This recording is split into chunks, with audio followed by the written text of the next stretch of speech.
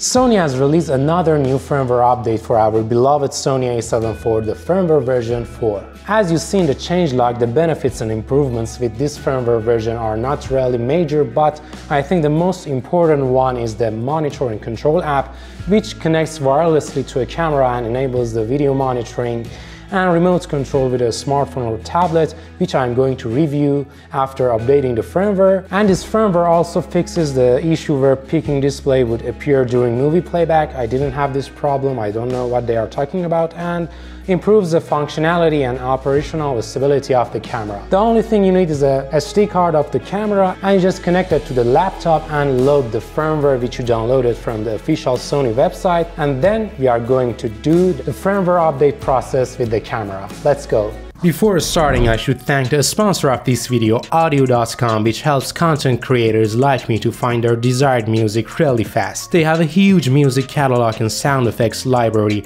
with lots of talented artists. With the filter controls, you can search for music by mood, genre, element, energy to find exactly what you need. You can get your first year of Audiio Pro with 70% off using my coupon code SAVE70. The link is in the description. Do not forget to check this amazing offer by audiio.com. So you copy the downloaded firmware in the root of the SD card and make sure you have backed up all of your photos and videos for caution and then we go to the menu and the last tab which is setup and then we go to the setup option and here we have a version. As you see we have a software update option and then we press that. We are updating from version 3 to version 4 if you are coming from version 1.0 or earlier you need to update first to the version 1.05 and then you can proceed and here as you see it took around 4 minutes I sped up the video and as you see the body update is completed really easily and we are now on the version 4 of the firmware.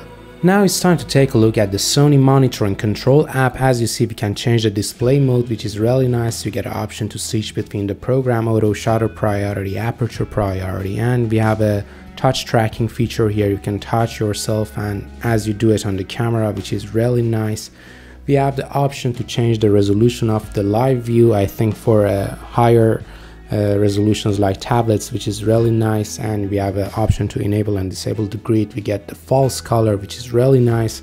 We have the waveform and it is really flexible. You can change the position of the waveform which is really nice. And when you go to the tools section you can choose to select which one which one of these options you want to see in this monitor app you can select the zebra and as you see here I am changing the zebra here to around 94 which is the uh, maximum zebra for the S-Log3 and uh, you can enable it and check the picture. As you see I am increasing the ISO so you can see the zebra on my face which is really nice it offers you so much options this monitoring control app and the latency is really good also you can change the aperture as you see it works really fluid and nice and I really love the fluidity of this app. It works really great. It has been uh, really good optimized for the camera and as you see you can change the focus to manual focus and it works really well. It's not as as smooth as the uh, manual focus which you do with the lens but it is good to have it. And other than that you see that focus area you can change them as you do it on the camera.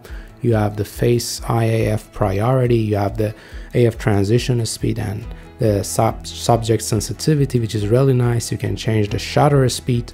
You have you get most of the options as you do on the camera which is really nice and other than that you see that you can uh, hold the record button and stop it and you can change the white balance and lots of great options which uh, this app offers you which is really nice. I am really amazed by the performance of this app. And as you see here, we have a FPS option for variable and fixed. I'm not sure what this means. I haven't uh, used and seen this option on the camera.